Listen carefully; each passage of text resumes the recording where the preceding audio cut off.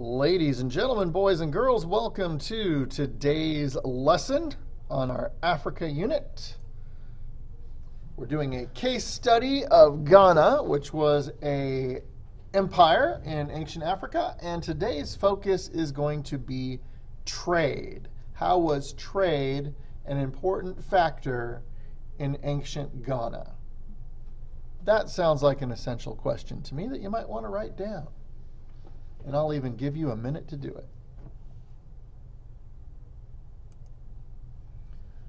So, our first clarifying left side essential question is why was trade the source of Ghana's wealth? What was it about Ghana's location that made trade extremely important? we're going to talk about that for a few minutes.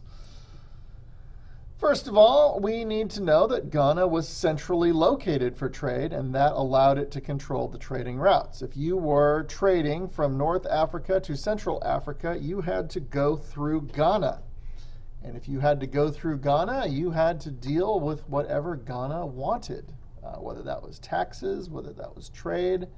Um, you had to play the game, and Ghana was in charge of that game.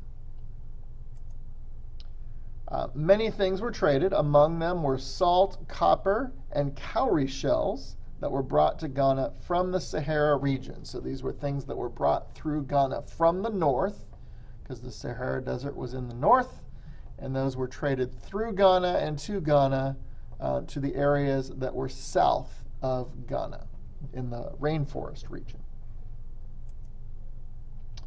As we know from lesson number one, gold was extremely important to Ghana. In fact, it means land of gold.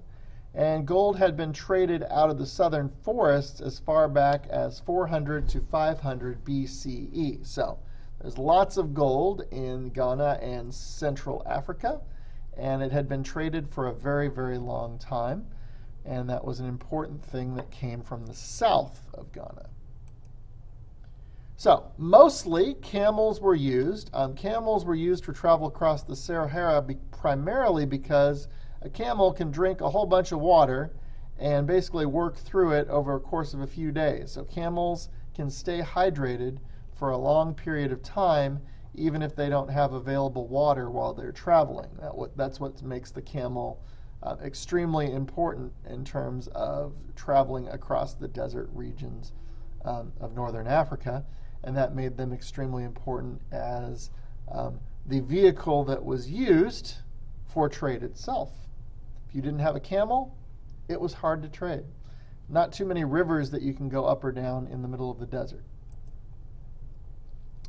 So, camels traveled across the desert in caravans, and all that means is that they um, traveled in very, very large groups uh, together. You didn't go across the desert on a single camel. You usually traveled across the desert in a very large group on camels, known as a caravan.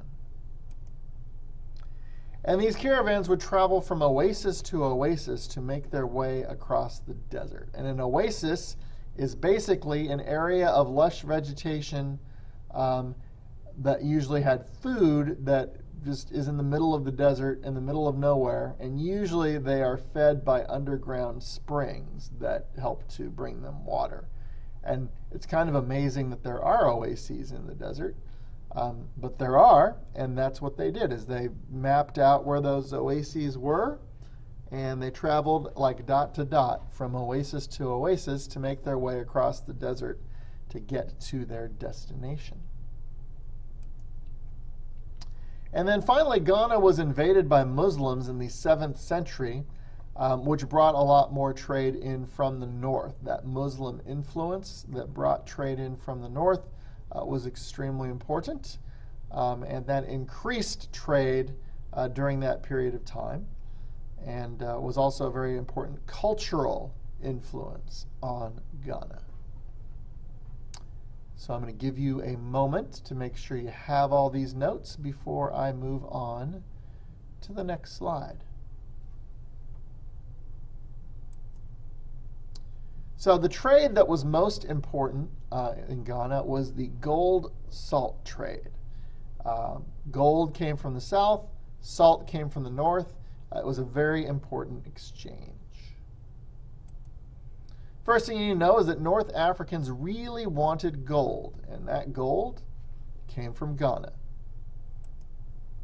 People in the southern forests wanted salt, which came from the Sahara. So this sets up a scenario for a exchange, and it just so happens that Ghana was the area that was in the middle of this exchange.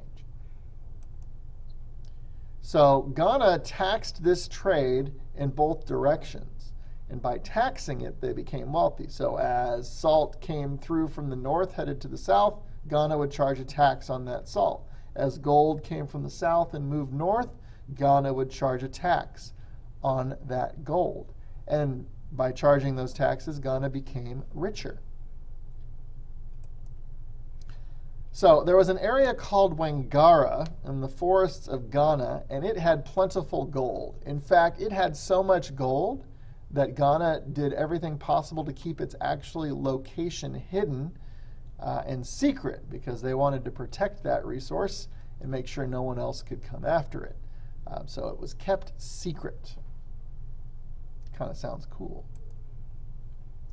There is a map of West Africa, and these were the gold producing regions here, and somewhere in there was Wangara.